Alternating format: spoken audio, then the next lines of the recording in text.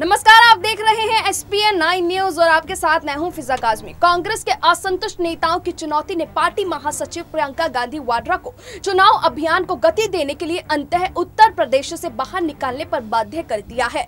प्रियंका ने सोमवार को असम के दौरे के साथ इसकी शुरुआत कर दी। साफ़ संकेत है की पाँच राज्यों के चुनाव अभियान के दौरान इस बार उनकी सक्रियता पहले से कहीं ज़्यादा दिखाई देगी।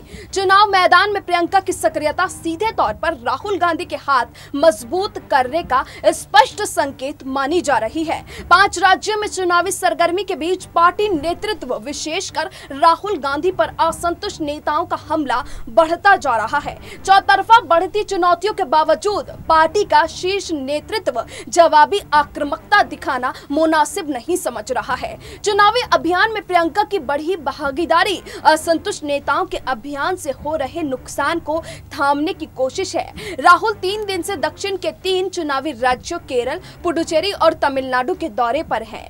वहीं प्रियंका ने असम में अपने अभियान की शुरुआत कर असंतुष्ट खेमे को साफ़ संदेश दे दिया है कि कांग्रेस में राहुल को कमज़ोर करने के प्रत्यक्ष या अप्रत्यक्ष प्रयास का वो डटकर मुकाबला करेगी। कांग्रेस नेतृत्व के लिए असम का चुनाव अहम इसलिए भी है कि वहाँ पार्टी का बीजेपी से आमना सामने का मुकाबला है।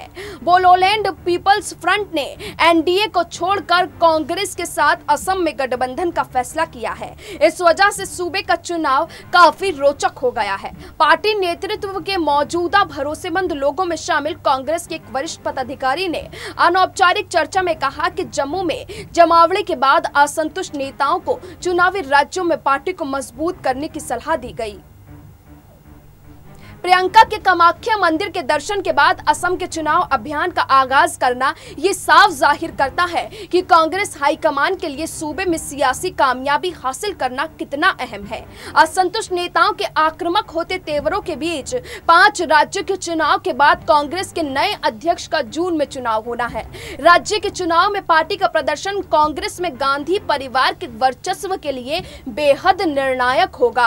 अक्सर चुनाव के दौरान संबंधित राज्यों से प्रियंका की सभाओं के लिए मांग और आग्रह आते रहे हैं। अगर कुछ अपवादों को छोड़ें, उन्होंने उत्तर प्रदेश से बाहर आने में ज़्यादा दिलचस्पी नहीं दिखाई। अभी चार महीने पहले हुए बिहार चुनाव के दौरान भी प्रियंका ने चुनावी दौरे से परहेज किया, मगर असंतुष्ट नेताओं की लगातार बढ़ती सक्रियता ने उन्हें भी रणनीति बदलने पर बाध्य किया है। यही कारण है कि प्रियंका ने इस बार चुनाव अभियान के शुरुआती दिनों में ही मैदान में उतरना ज़रूरी समझा। फ़िलहाल अभी के लिए इतना ही, लेकिन देश और दुनिया की तमाम बाकी खबरों के लिए आप जुड़े रहिए एस पी न्यूज़ के साथ।